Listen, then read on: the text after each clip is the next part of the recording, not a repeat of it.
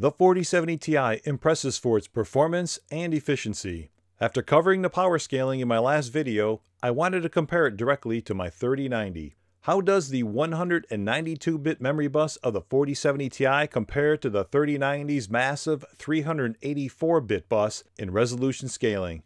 And what else did I discover during benchmarking that no one else is talking about? Let's get into it. After testing the 4070 Ti, I walked away very impressed with the power efficiency of that GPU. You could lower the power limit and the performance drop was not that significant. And this is in sharp contrast to my RTX 3090 ROG Strix GPU, which is a power pig. At stock settings, it consumes 380 watts. Overclocked, it goes up to 480 watts. I purchased my 3090 back in November as they were more available on the secondhand market back then and I was able to pick one up at a good deal. I wanted a GPU that could game at 4K when I had the time around the holidays for gaming and I wasn't going to count on any price drops for the 4080. That wouldn't be according to Jensen's plan. And I wasn't going to trust AMD on their supply of the overhyped 7900 XTX GPU.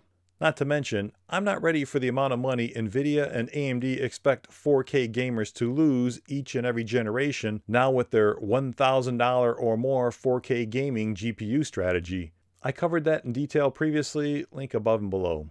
I ran the same power scaling test on the 3090 in Wildlife Extreme and adjusted the power limit from 40% up to 120%. You can see that at stock configuration at 100% it achieves 246 FPS. Increasing the power limit up to 120% improves the frame rates 4.5% to 257. Going the other way, at 70% power limit, the performance drops 18% and then performance falls off a cliff with power limits below 70%. I then plotted the power scaling of the 4070 Ti on the same chart and wow, is the 4 nanometer TSMC process a lot more efficient than Samsung's 8 nanometer node used in the 3090. While the 3090 technically beats the 4070 Ti by 3.2%, it also consumes 180 watts more power. The two match frame rates at 246 FPS, and the power difference is still 128 watts. And moving into the most efficient region with the 4070 Ti at 60% power limit is matching the frame rates of the 3090 at its 80% power limit. Now at that point, the power difference is 136 watts. Again, the efficiency of the 4070 Ti for that level of performance is really amazing. Let's move on to resolution scaling. In watching and reading many of the reviews, there is a very clear trend for the 4070 Ti and how its performance scales with resolution. Looking at these charts from Tech PowerUp, at 1080p in GPU demanding games like Red Dead 2, Elden Ring, and Cyberpunk, you see that the performance of the 4070 Ti is slightly better than the 3090 Ti. At 1440p, the 4070 Ti performance is now falling short of the 3090 Ti in many titles, so that the overall 25 game average is just below the 3090 Ti. And at 4K, the performance of the 4070 Ti now drops down to be just above the 3090. And this holds true with newer games like Hogwarts Legacy. At 1080p and 1440p, the 4070 Ti is like a 3090 Ti, and at 4K, it's more like a 3090. So when I ran my resolution scaling benchmark in Shadow of the Tomb Raider at highest settings, you see the 4070 Ti better than the 3090 at 1080p and 1440p, while at 4K, they are tied. And that is the same even when you decrease the settings to high, and then again decrease the settings to medium. And when I overclock my 3090 and consume 480 watts at the highest settings, it only manages to close the gap at 1080p and 1440p while having a slight lead at 4K. In looking at the benchmark results, I discovered something I did not expect, and something I have not heard discussed. One thing nice about Shadow of the Benchmarks is that it really does scale well with CPU and GPU performance, and it shows you the GPU utilization. At 4K, GPU utilization is 100% for both the 3090 and 4070 Ti. At 1440p, the GPU utilization of the 3090 is only 58%. Now it is well known that the 3090 is CPU bottlenecked at 1080p and 1440p. After all, the 3090 was the BF GPU and targeted as a 4K gaming card. So any CPU bottleneck below that resolution is expected. However, the 4070 Ti also shows a GPU utilization of just 58% at 1440p. What the heck? And this is using a 16-core 32-thread Ryzen 9 5950X, a CPU based on the Zen 3 architecture and still for sale today. So the 4070 Ti at its target resolution of 1440p is being CPU bottlenecked by the 5950X. We'll get back to that one later. By the way, if you like videos like this, like, share, and consider subscribing, and let me know in the comments below if you knew a Zen 3 CPU, which are best sellers at Amazon today, taking 7 out of the top 10 spots, was going to bottleneck the 4070 Ti at its native resolution of 1440p. Let's move on to resolution scaling with something that is more demanding on the GPU.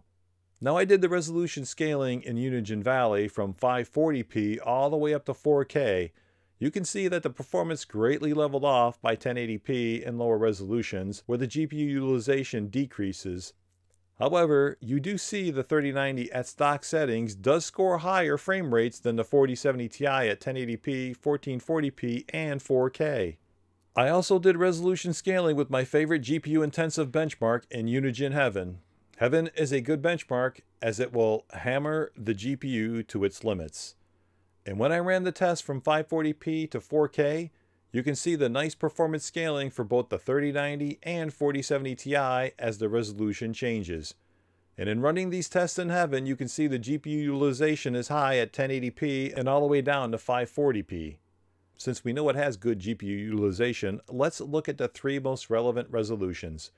At 1080p, the 3090 averages 243 FPS and the 4070 Ti is at 192 FPS or about 20% lower. At 1440p, the 3090 averaged 157 FPS, while the 4070 Ti is at 136 or 13% lower. And at 4K, the 3090 averages 77 FPS, while the 4070 Ti is at 60 FPS or 22% lower. Now this MSI Ventus is power limited, but I can increase the power limit of my 3090. And when I max out that power limit, at 1080p, the 3090 moves from 243 to 256 FPS for another 5%. At 1440p, the 3090 moves from 157 to 171 FPS for a 9% gain. And at 4K, the 3090 moves from 77 to 83 FPS for a 7% gain. Of course, the trade-off for those modest gains is much higher power consumption, where it goes from 380 watts to 480 watts, or 26% higher. I also wanted to do a comparison at comparable power. Undervolting and keeping the 3090 to a comparable 280 watts, at 1080p the 3090 is 18% higher than the 4070 Ti. At 1440p the 3090 is 10% higher, and at 4K the 3090 is 19% higher. So using a GPU-heavy benchmark, the 3090 is ahead of the 4070 Ti. Okay, what does all of this mean? Despite everyone telling you that the 4070 Ti is faster than the 3090, its 192-bit bus will ensure that that will not be the case going forward. As we saw, when put into a GPU-demanding scenario, the 3090 is going to perform better, especially at 4K, than the 4070 Ti. The 3090 has a 384-bit memory bus and is twice the width of the 192-bit bus of the 4070 Ti. And the bandwidth of the 3090 is 936 gigabytes per second, while the 4070 Ti is only at 504. Now here's the thing. Not all of today's game engines will utilize the GPU as heavily. But what about the future as game engines become more GPU heavy? How will the performance fall off? To get an idea of what that looks like, we can look at the past. At 4K, we can say the 4070 Ti is like a 3090. Back in 2020, when NVIDIA launched the 3070, the 3070 was equivalent to the 2080 Ti. When Steve at Hardware Unboxed did his review, the 14 game average at 1440p showed the 3070 and the 2080 Ti to be the same and at 4K, the 2080 Ti was just 2% faster. A year later, when he reviewed the 3070 Ti, the 2080 Ti was now 1.7% faster than the 3070 at 1440p, and at 4K, it was now 6% faster. So in one year, the 2080 Ti gained almost a 4% advantage over the 3070 at 4K. Now that doesn't sound like a lot, however, the bus width and the bandwidth differences are not as drastically different. The 3070 has 73% of the bandwidth of the 2080 Ti. The 4070 Ti only has 54% of the bandwidth of the 3090. With the release of new and more demanding games each and every year, the 4070 Ti will drop off in performance at 4K much faster due to its limited bandwidth. And if the newer games exceed the 12 gigabytes on the 4070 Ti, the performance will really drop off and it will become a stuttery mess. This is not by accident. NVIDIA purposely limited the bandwidth of the 4070 Ti to make sure it would not compete well at 4K. NVIDIA wants 4K gamers to pay up and give them more than $1,000 for their GPU just for the privilege of gaming at 4K. As long as you purchase the 4070 Ti for high refresh rate 1440p gaming, and don't expect it to be a 4K gaming GPU, this GPU performs really well. And with how efficient this GPU can be, I still think it could be the ultimate small form factor GPU this generation, if you can get it at a discount. Getting back to the CPU bottleneck, if a Ryzen 9 5950X bottlenecks this GPU at its native resolution of 1440p, what CPU doesn't? And how much performance are you losing if you don't have the latest and greatest CPU? To answer all of these questions and more, we'll cover that next time. Thank you all so very much for watching. Stay safe, and I will see you in the next one.